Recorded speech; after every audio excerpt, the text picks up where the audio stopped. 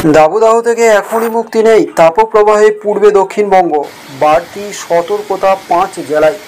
তীব্র দাবদাহে নাজিয়াল অবস্থা রাজ্যের। বিগত কয়েকদিন ধরে তাপপ্রবাহের জেরে কার্যত পুড়ছে দক্ষিণবঙ্গের জেলাগুলি।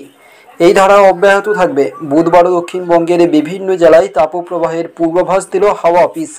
যার মধ্যে পুরুলিয়া, বাঁকুড়া, ঝাড়গ্রাম, পশ্চিম বর্ধমান, বীরভূম এই পাঁচ জেলায় তীব্র তাপপ্রবাহের সতর্ক বার্তা জারি করা হয়েছে। এই পরিস্থিতি তাপমাত্রা খুব বেশি থাকবে বলেই পূর্বাভাস।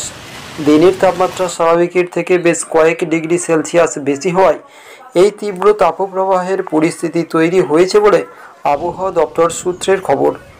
বৃহস্পতিবারও দক্ষিণবঙ্গের বিভিন্ন জেলায় তাপপ্রবাহের পূর্বাভাস দিয়েছে আলিপুর আবহাওয়া অফিস। তবে শুক্রবার থেকে খানিকটা হলেও স্বস্তি ফিরতে পারে আবহাওয়াবিদরা জানিয়েছেন এমনই।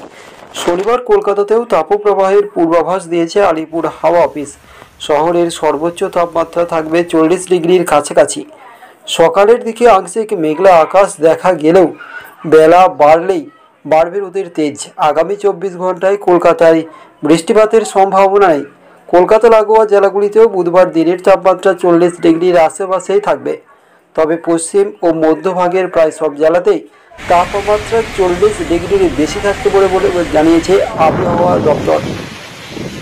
দক্ষিণবঙ্গের পাশাপাশি উত্তরবঙ্গের দুই দিনাজপুর, মালদহে তাপপ্রবাহের সতর্ক বার্তা জারি করেছে হাওয়া অফিস। তবে বৃষ্টিতে ভিজবে দার্জিলিং এবং কালিম্পং।